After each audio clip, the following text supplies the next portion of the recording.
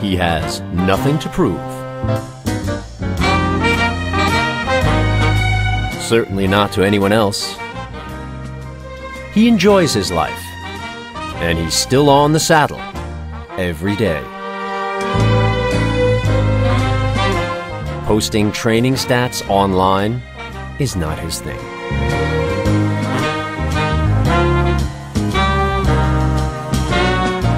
Prepping his workout with a new app is more like it.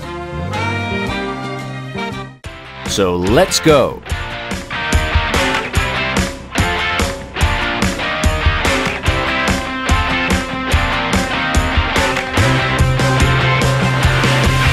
Kettler Racer S, the first bike trainer that really knows what you want.